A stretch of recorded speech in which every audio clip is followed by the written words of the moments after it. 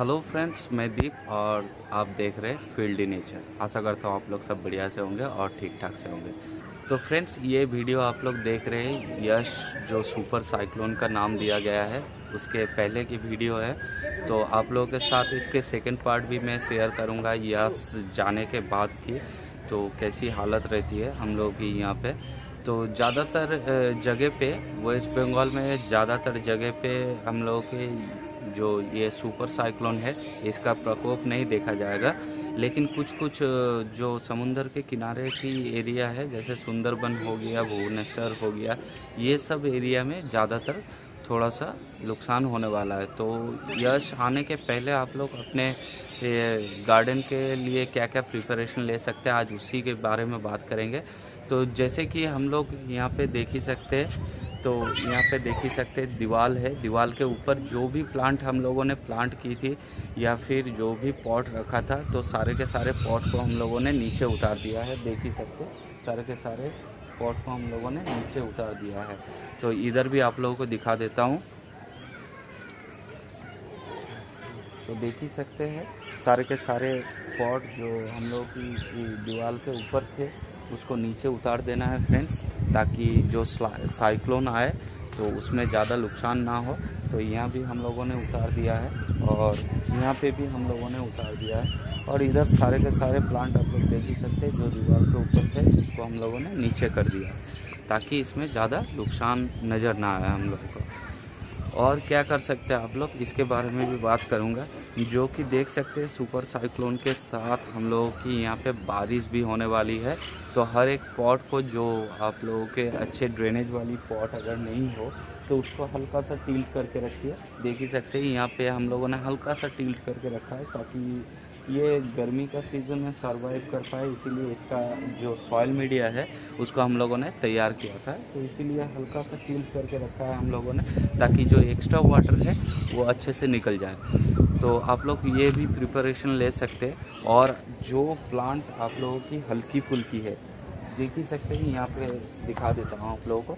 देखिए, ये प्लांट जो है तो इसको जो तूफ़ान आने वाला है तो उसका पहले हम लोगों को इसको एक सपोर्ट देना है, ताकि ये इधर से उधर ना हो पाए। और इसमें ज़्यादा फ्लावरिंग होने के वजह से ये थोड़ा सा उधर झुक गया है। तो इसको भी सीधा करना है।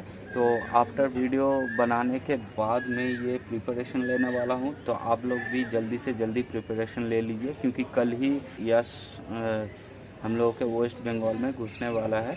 तो जहाँ जहाँ भी यश का प्रकोप आने वाला है तो वहाँ वहाँ तैयारी आप लोग सबसे पहले कर लीजिए। और आफ्टर यश के बाद हर एक हर एक प्लांट में, हर एक प्लांट में आप लोगों को फंगीसाइड का यूज़ करना है। फंगीसाइड आप लोग अच्छे से स्प्रे कर दे, ताकि इसके जो रूट बॉल है, वो सड़ ना जाए, उसमें फंगस ना लग पाए। तो फ्रेंड्स ये सब तैयारी आप लोगों को करना है और हम लोग की यहाँ पे जो खपरेल के घरों में रहते हैं या फिर उन लोगों के लिए नज़दीकी स्कूलों में सेवा दिया गया है तो आप लोग जाके वहाँ पे रह सकते हैं अभी। और आपके जो डॉक्यूमेंट्स है, वो सारे डॉक्यूमेंट्स आप अपने साथ ही लेके जाए, ताकि अगर कुछ भी नुकसान हो तो आपका डॉक्यूमेंट्स आपके साथ रहे, जिससे कि वो सारे के सारे आपके सुरक्षित रहे। तो फ्रेंड्स अभी कोरोना भी चल रहा है तो अगर आप लोग वहाँ जाते हैं तो मास्क ज़रूर पहन के रखिए और सैनिटाइज़र साथ में रखिए। और थोड़ी सी हो सके तो दूरी बना के रखिएगा, क्योंकि अभी जो हालत हम लोगों की यहाँ पे होने वाली है तो उसके लिए आप लोगों को सावधानी बरतना है। जो कलकत्ता साइड में रहते हैं या फिर सुंदरबन साइड में रहते हैं, उन लोगों के लिए ज़्यादातर नुकसान की संभावना है।